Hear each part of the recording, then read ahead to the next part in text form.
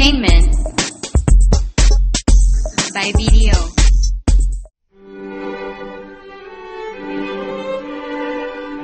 Ah, well, siguro umpisahan natin. Ito yung isang pelikula na pinagandaan ng limang taon. Mhm. Isang pelikula na ah, base sa totoong buhay. Mhm.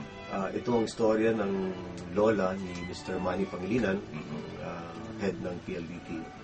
Uh, naikwento sa akin to back in 2005 nung nilapitan ko si Mr. Pangilinan na suportahan ang ah, Film Academy Awards night. Okay.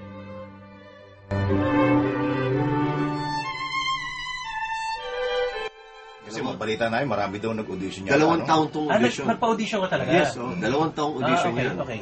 And hindi ko na babanggitin yung mga pangalan, Okay. pero most of nag- nag-audition dito are A-lister actors. Mm. Oo. Talagang Mga Hindi kilala. basta-bastang ano ah. No, malalaking artista lahat. Mm. As much possible, kapag napanood niyo po itong pelikulang to, hindi kayo makakita ng artista, makakita kayo ng totoong Si tao. Rosario mismo yung nakikita. Lahat sila, pati yung sila Dennis Trillo, si, Car- si, si Docero, si Ipe, si Mang Dolphy, lahat to, you'll see them, the characters, you don't see them acting, natural lahat.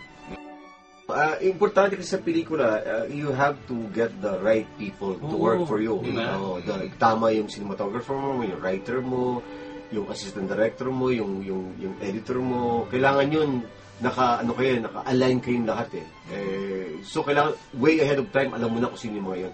And ako ang ginawa ko, pinag-aralan ko lahat ng mga magagaling nating mga filmmakers. Mm. From there doon ako pumili Mhm. na alam ko may deliver na lang vision ko.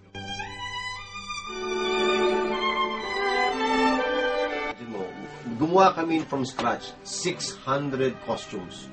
600 costume. Ah, talagang from scratch. From scratch yun, 600. Dinesign Wala, yun. pero na kayo sa pre-production, di, ano na rin kayo, abala na kayo, abala na kayo. Meron na kaming war room at uh, uh, at isang warehouse na lahat ng props ginawa namin way ahead of time.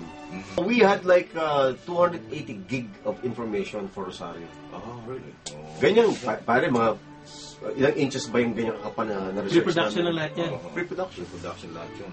Ah, i-share ko lang sa inyo, Mm. yung ganitong klaseng pelikula, normally it would take uh, from 50 to 60 days to shoot. Because period, mahirap yan eh. Oo. Natapos ko to in 28 days. 28 days. Oh, bakit? Kasi yung pre-production namin malinis. Ah, Kumaga, planchado na lahat. plancha, nakakasana siya lahat.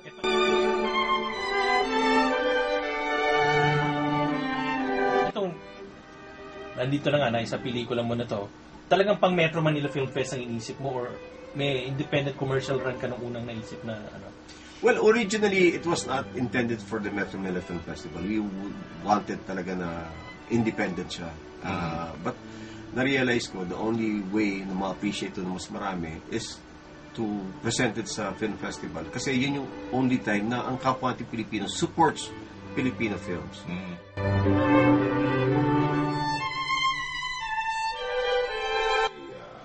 Mapapanood na ito ng ating mga kababayan. Ano? Um, et, ito ba pa, paano bang stand mo rito? Ito ba parang ah, ah, testing ground mo kung ikaw ay lilipat ng karir o paano? Ah, sa totoo po, eh, mahal ko pa rin ang umarte at mas madali yun kaysa. Ah, sa akin po, eh, passion lang talaga to. Ay gusto ko talaga makagawa ng isang pelikula na may, may kabuluhan at gusto ko sana eh makapag-trigger to ng ah, ng trend na gumawa pa tayo ng mas maraming pelikulang gaya ng Renaissance, no?